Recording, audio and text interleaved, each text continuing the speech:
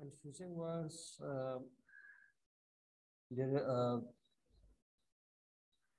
scripture was scriptures jasma sazi basically दोनों का ही same meaning है but spellings are different